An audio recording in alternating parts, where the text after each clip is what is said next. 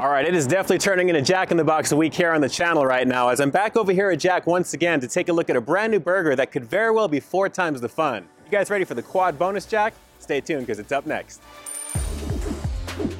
Welcome to Peep This Out Reviews with Ian K. Stay frosty. Check out my triple bonus, Jack. Check it out with an extra patty. Yeah. So here we go with the quad bonus jack here at Jack in the Box. And don't let the size fool you. This is definitely a smaller size burger, but there is plenty of meat and cheese. And while the patties themselves are value size with lots of cheese around them, they are definitely thin, thin, thin. Let's take a look at the bun here. Looks like it is that soft action as always. Underneath it, we've got that secret sauce. We've got some shredded lettuce, some pickles, and then here comes the meat and cheese, guys. And as you can see by the thinness, definitely value size goodness there. We've got one, we've got two, we've got three right there, and then there is the fourth one on the bottom, and uh, lots of gooey American cheese to go with here, guys. So a meat and cheese showcase absolutely with this one here, and the value is pretty high. Even though they're thin patties, there's a lot of stack to this one, and I'm really digging how that looks actually. $5.99 combo comes with a drink and some curly fries. I'm gonna be focusing on the burger only because that is the star of the show. But guys, here we go. It's the quad bonus jack here at Jack in the Box. Let's keep out this flavor.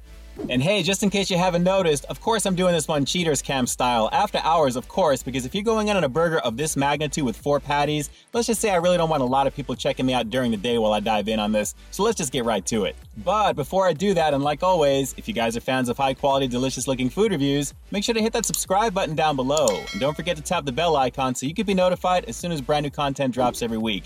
Guys, the quad bonus jack this looks really, really meaty up close. I gotta say, let's give it a shot here with Jack in the Box after hours. Mmm. Mm-hmm. Oh, it's a lot of meat and cheese. Yeah, those patties are definitely value size, but there is a thickness to this one that really makes up for that, guys. The fact that there's four of them stacked really adds to the overall weight of this one big time. Four slices of cheese and a very, very sweet sauce on this one. I don't know if I'm really digging that too much, but guys, it is very meaty, very cheesy. Let's keep going. I'll give you that close up. Not bad. Mm.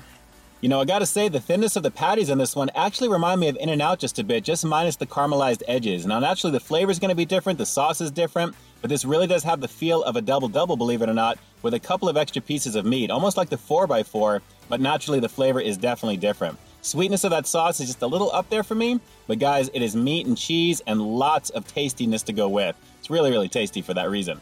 And by tastiness to go with, what I mean is that there is plenty of beef, plenty of cheese, so while the value sized patties are definitely stacked up nicely on this one, the fact that they're thin is not really deterring from the fact that it is just very, very tasty. And the fact that you're getting a thick amount of meat on this, I want to say it's pretty much closer to like a half pound of beef, not really quite up there, but it really does feel substantial even though it's a smaller bun. So value size appearance, but it packs a wallop in terms of the meat and cheese. That extra patty, I think, does make a difference over the triple. And guys, I think it's pretty evident. You're gonna like this if you're a carnivore, if you're a meat eater, this is definitely gonna be right up your alley. For $5.99 with a drink and fries, that's not bad at all, it really isn't. So let me go for one more bite of this value-sized beastly burger before we wrap this one up and give it a rating. Mm. So let's go a little 360 action on this one to show you what I'm looking at from the back here, guys. A very decent amount of cheese, like I said, even though the value size patties are in effect with this one here. Nice snap from the pickles, I gotta say. I wish I had just a few more of those on here. With four patties, I think you need at least four or five pickles to really match it.